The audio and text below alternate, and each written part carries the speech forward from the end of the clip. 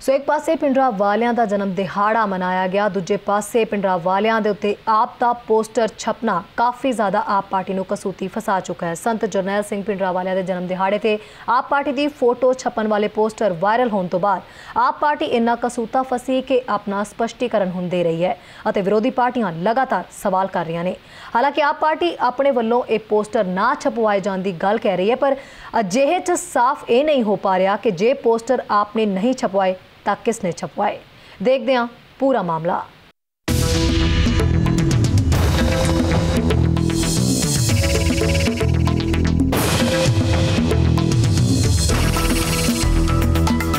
ਸੰਤ ਜਰਨੈਲ ਸਿੰਘ ਪਿੰਡਰਾ ਵਾਲਿਆਂ ਦੇ ਪੋਸਟਰ ਤੇ ਘਿਰੀ ਆਪ ਪਾਰਟੀ ਹੁਣ ਆਪਣਾ ਸਪਸ਼ਟੀਕਰਨ ਦੇ ਰਹੀ ਹੈ ਕਿਉਂਕਿ ਵਿਰੋਧੀ ਧਿਰਾਂ ਲਗਾਤਾਰ ਆਪ ਪਾਰਟੀ ਤੇ ਨਿਸ਼ਾਨਾ ਸਾਧ ਰਹੀਆਂ ਨੇ ਦਰਅਸਲ 12 ਫਰਵਰੀ ਯਾਨੀ ਅੱਜ ਸੰਤ ਜਰਨੈਲ ਸਿੰਘ ਪਿੰਡਰਾ ਵਾਲਿਆਂ ਦਾ ਜਨਮ ਦਿਨ ਆਪ ਪਾਰਟੀ ਵੱਲੋਂ ਮਨਾਉਣ ਨੂੰ ਲੈ ਕੇ ਛਪੇ ਪੋਸਟਰ ਕਾਰਨ ਆਪ ਪਾਰਟੀ ਕਸੂਤੀ ਫਸ ਚੁੱਕੀ ਹੈ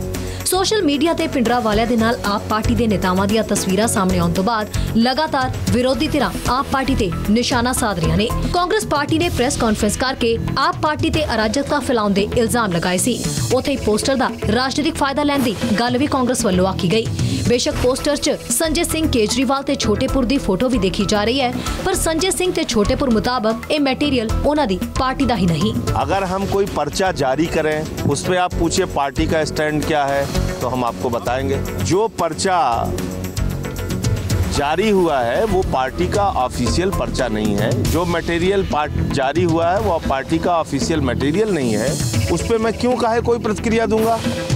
आप जो हमारा पर्चा है, जो हमारे मटेरियल हैं, उस पर आप मुझसे प्रतिक्रिया मांगिए, मैं निश्चित रूप से दूँगा। लेकिन जो पर्चा हमारा है ही नहीं, जो पोस्टर हमारा है ही नहीं कल को अ, आपके लिए कोई पोस्टर बना के मैं आपसे अ, ज़बरदस्ती बयान मांगूं तो आप देंगे क्या तो ये जो जो मटेरियल हमारा नहीं है उस पर मैं कोई प्रतिक्रिया देना जरूरी नहीं समझता ਉਹ ਬੜੀ ਅ, ਦੁਖਦਾਈ ਗੱਲ ਆ ਕਿ ਪੰਜਾਬ ਦੇ ਵਿੱਚ ਅ,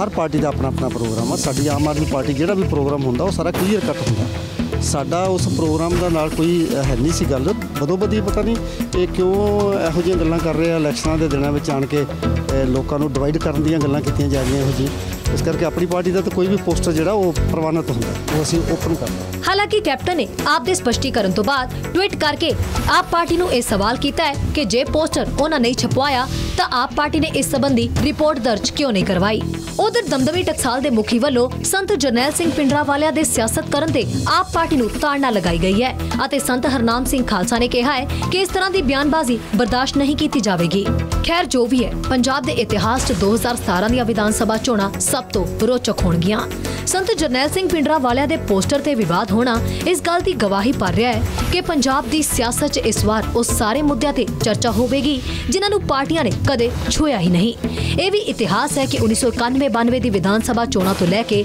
ਅੱਜ ਤੱਕ ਸੰਤ ਪਿੰਡਰਾ ਵਾਲਿਆਂ ਦੇ ਨਾਂ ਤੇ ਕਦੇ ਚਰਚਾ ਨਹੀਂ ਹੋਈ ਪਰ ਹੁਣ ਇਸ ਦਾ ਰਾਜਨੀਤਿਕ ਫਾਇਦਾ ਜਾਂ ਨੁਕਸਾਨ ਕਿਸ ਪਾਰਟੀ ਨੂੰ ਹੋਵੇਗਾ ਇਹ ਤਾਂ 2017 ਚੋਣਾਂ ਦੇ ਨਤੀਜੇ ਹੀ ਦੱਸਣਗੇ ਨਿਊਜ਼ ਡੈਸਕ ਤੋਂ ਸ਼ੈਰੀ ਗੌਰਵਾ ਦੇ ਨਾਲ bureau report Global Punjab TV